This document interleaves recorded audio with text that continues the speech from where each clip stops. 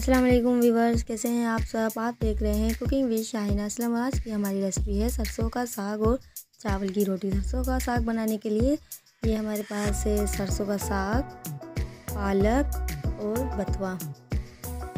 ये तीनों चीज़ों को हम पहले कट कर लेंगे। देखिए, इस तरह से आपने कट करनी है।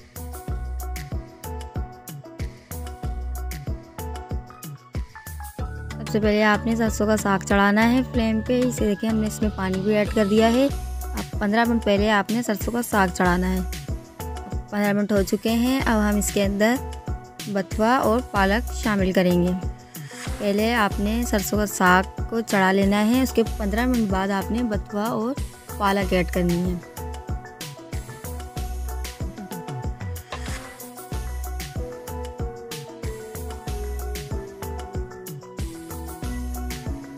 अब हम इसके अंदर छः अदद हमारे पास, हरी मिर्चें थी, इसको हमने कट कर लिया।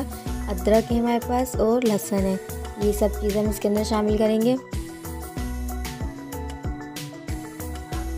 और अब हम इसके अंदर डालेंगे हाफ़ टी स्पून हल्दी पाउडर और नमक। नमक आपने आज पे जायका ऐड करना है। अब इस सब चीज़ों को मिक्स करके हम इसे चढ़ा देंगे फ्लेम पे जब तक ये सारी चीज़ें गल जाएँ। बीस से पंद्रह मिनट तक आपने इसे चढ़ा देना है ताकि ये गल जाए। ये देखिए चेक करते हैं। सब चीज़ें जो है वो गल चुकी हैं। अब हम इसे घोटा लगाएँगे ताकि ये अच्छे से मिक्स हो जाए। ये देखें साग जो है वो अच्छी तरह से मिक्स हो गया है। अच्छे से इस पर घोटा लगाना है। अब इसके अंदर हम एक चम्मच बेसन शामिल करेंगे और इसे मिक्स करेंगे। बेसन शामिल करना है आपने और इसे अच्छी तरह से मिक्स करना है। अब हम इसके अंदर एक प्याली दही शामिल करेंगे। फ्लेम पे आपने रखे रहना है साग को। एक प्याली दही शामिल करके इसको मिक्स करना है। देखिए, बिल्कुल अच्छे से मिक्स हो चुका है। साग मुकम्मल तैयार है। अब हम इसका तड़का लगाएँगे। यहाँ पास साबुत गोल है, ज़ीरा है। इसको सोते करके तेल के अंदर और फिर हम इसके अंदर साग शामिल करेंगे। शामिल करना है।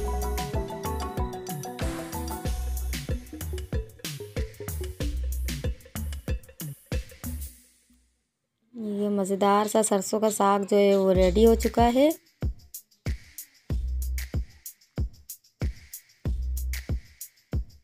देखिए तड़का भी लग चुका है साग में। साग जो है मुकम्मल तैयार है, चटपटा सा, मज़ेदार सा। अब हम चावल की रोटी बनाएँगे। अब हम चावल की रोटी तैयार करेंगे। यहाँ पे चावल के रोटी बनाने के लिए आटा लेना है। चावल का आटा है हमारे पास। इसके अंदर हम नमक ऐड करेंगे इसमें जायका और पानी शामिल करेंगे। इसका हम पेस्ट बना लेंगे। ये देखिए, इस तरह से आपने पेस्ट बना लेना है। ज़्यादा पतला नहीं बनाना।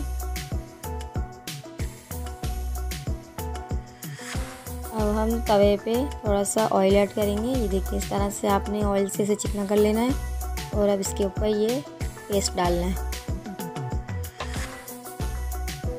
और आहिस्ता आस्ता से इसे फैला लेना है ताकि रोटी जो है वो पतली बने, ज़्यादा मोटी ना हो। ठीक है, इस तरह से आपने चावल की रोटी बनानी है। जब ये नीचे से सिक जाएगी, तब आपने इसे पलटना है। देखिए, ज़्यादा जल्दी मत करिएगा इसको पलटने की। टूट जाएगी, ये देखें इस तरह से। थोड़ा सा ऑयल लगाएँगे हम इसके ऊपर।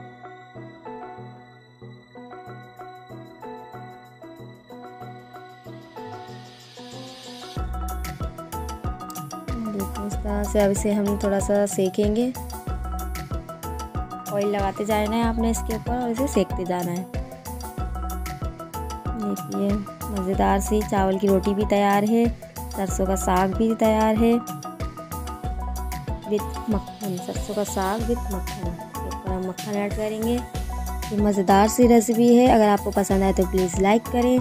और अगर चैनल को सब्सक्राइब नहीं किया है तो चैनल को सब्सक्राइब करें, बेल आइकन को प्रेस करें, ताकि मेरी वीडियो सबसे पहले आप तक पहुँचे। मिलते हैं आपसे नेक्स्ट वीडियो में एक नई रेसिपी के साथ। अल्लाह हाफिज़।